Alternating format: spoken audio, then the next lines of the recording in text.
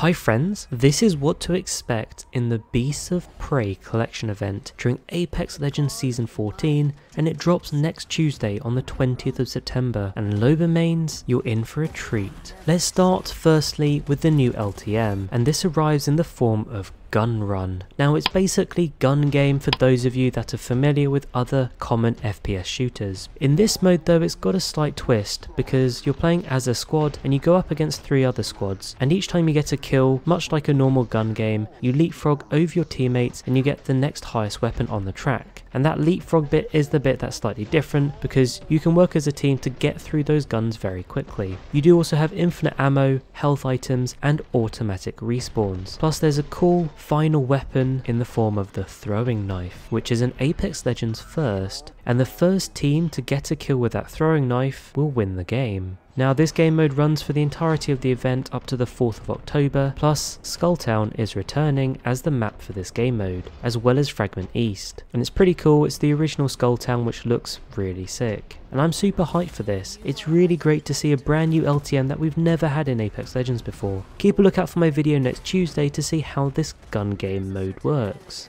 The next thing we're getting with this event is something we always get with a collection event, and that's a bunch of cool collection event skins. As normal, you've got the 24 items, 12 epic and 12 legendaries. Now sometimes collection events can have the odd average skin, but if I'm being honest, I think pretty much every skin in this Beast of Prey collection event looks really cool, and they definitely feel quite new. You can see the Predator theme here, if you've seen the movie, they'll feel very familiar. Keep a lookout for my video next Tuesday again to see the cheapest way to get all these skins. And of course, if you get all these skins, then you get an heirloom. And this collection event, you're getting the heirloom you've been waiting for, because Loba's finally getting her heirloom, and it's amazing. Well, maybe that's subjective, and to be honest, I wasn't super hyped at the idea of getting a fan as an heirloom, but now I've seen it, I think it looks really cool, and there are definitely some really awesome animations with it. Obviously, I'm a bit biased because I'm a Loba main, but I can't wait to get it myself, so keep a lookout on the channel if you want to see all the cool animations for Loba's heirloom, plus all the lore behind it, as well as my normal video on the cheapest way to get it. In addition to all of this, like normal, for those of you that don't want to spend any money, you'll still get the free event prize track, which brings some really cool rewards, and you can pick up some free skins, some packs, and battle pass levels, and if you're a Vantage main, there's another cool Vantage skin there. There are some slight tweaks to the game as well, a little tweak to Rampart's sensitivity for her ultimate Sheila, and there were a couple of mentions of control changes, which I assume means control will be coming back again this season. Overall, I'm super hyped for this event. The skins are cool, the heirloom's cool, and the new LTM looks epic. Don't forget to like and subscribe, and I'll catch you later, friends.